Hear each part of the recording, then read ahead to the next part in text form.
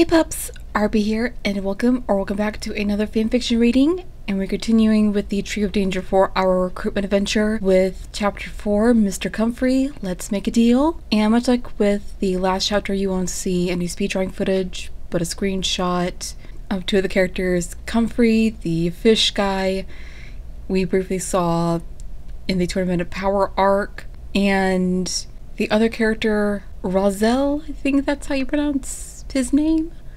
Uh, the bat creature that took on Frieza but ultimately failed and flew away out of fear and completely forgot that if we that if the ninth universe team lost they would all die. So that's pretty much it.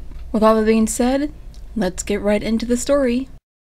Bergamo was tempted to ask Oregano to elaborate on that last comment but he figured that he'd get his explanation soon enough and he was right. After they exited the cave, Oregano and Hyssop led the other four warriors to an empty stretch of land a decent distance away from the mountain.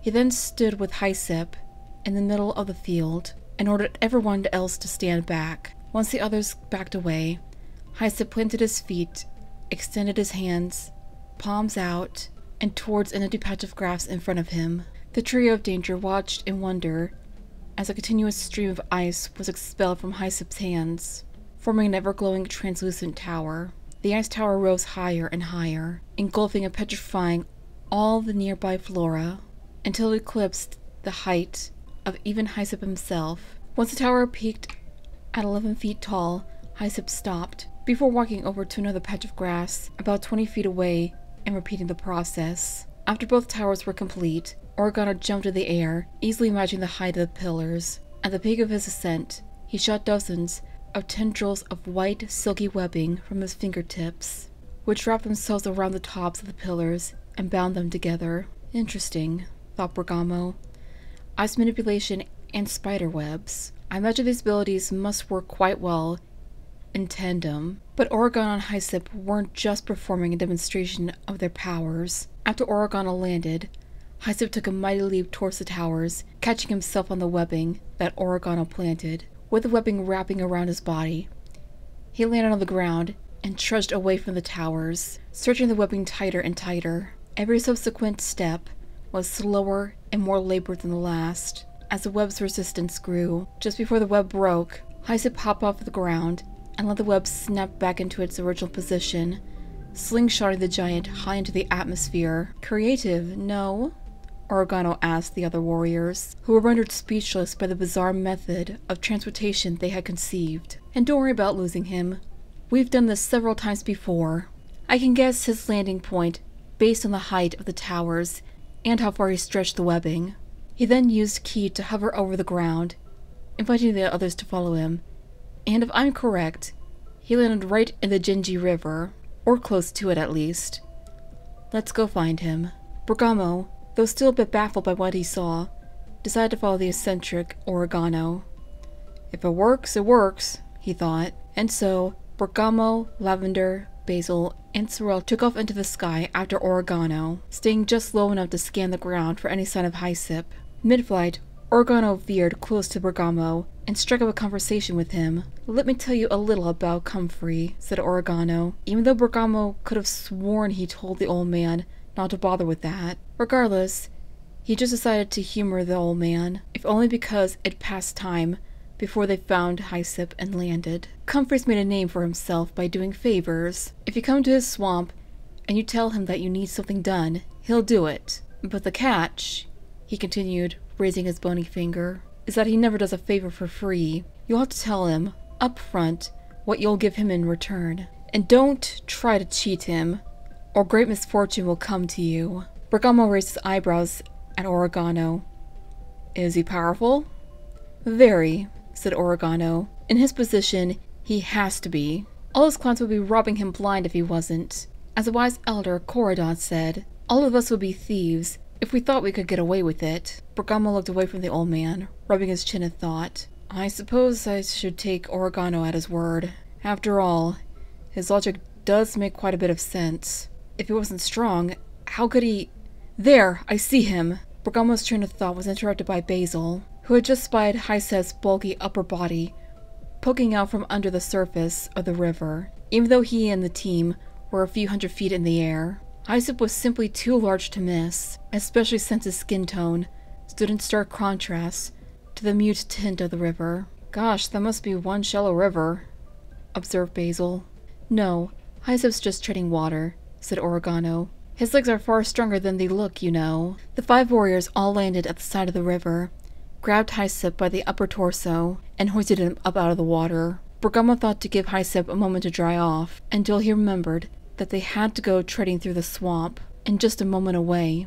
Once Bergamo started to survey his surroundings, he noticed a swampland beyond the river extending for several miles, which didn't exactly make him feel confident about finding Comfrey. How exactly are we supposed to find this character? he asked Oregano.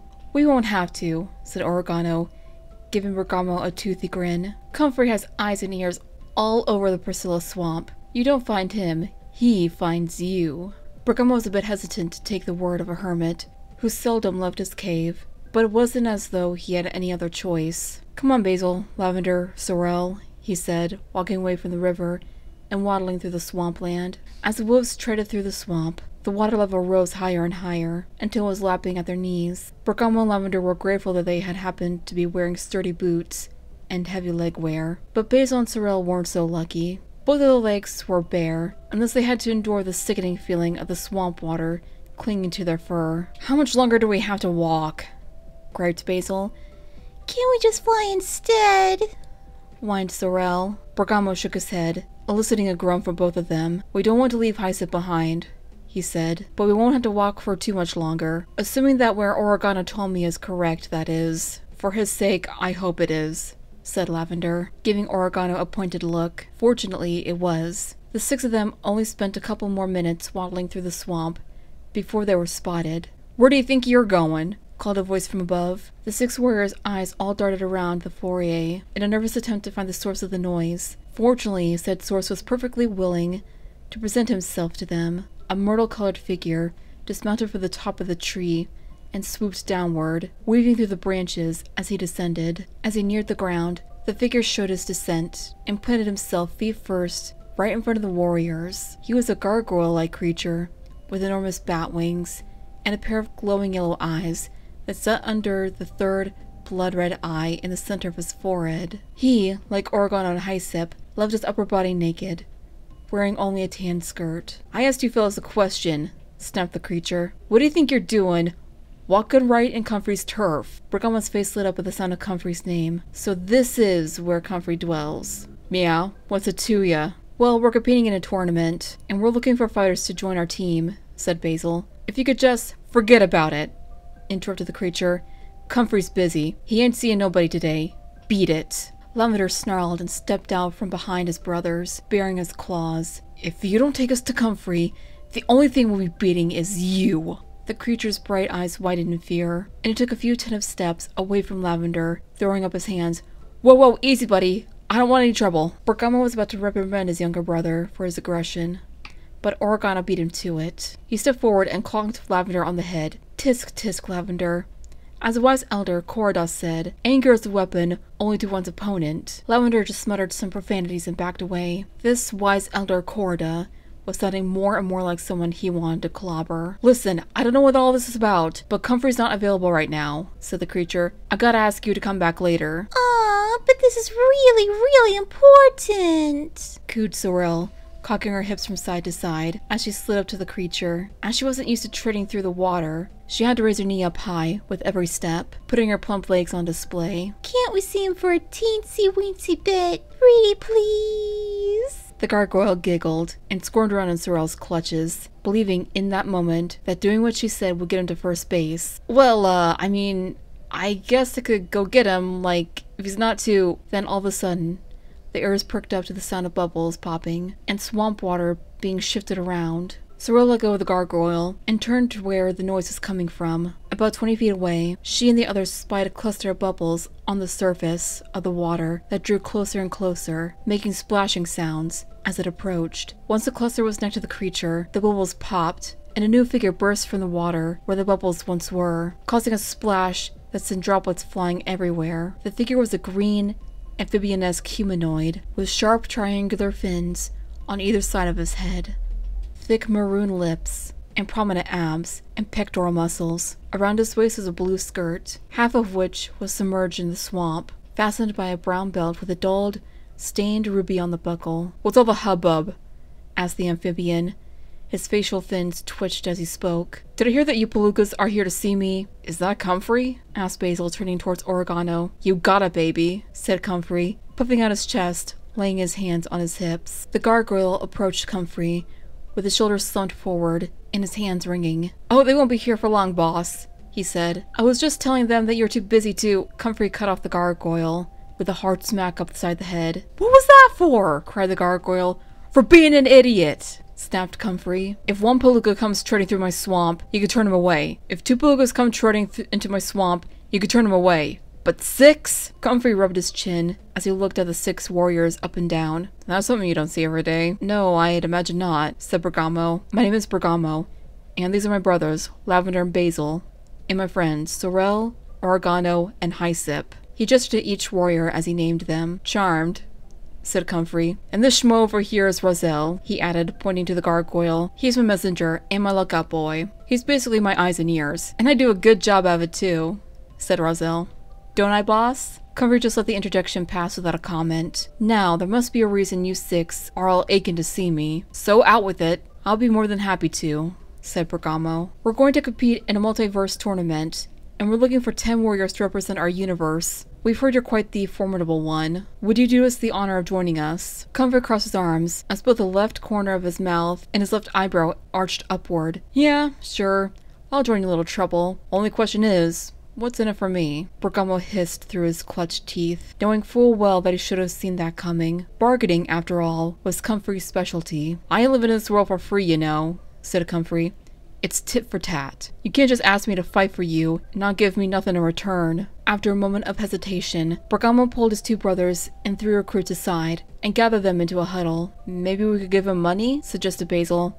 We're broke, said Lavender, and I don't think we even use the same currency as them. Basil just bowed his head and blushed a bit. Oh, well, what does Comfrey usually use as payment? Bergamo asked Oregano. Heck if I know. Oregano said with a shrug. I've never done business with him. Bergamo's jaw dropped open.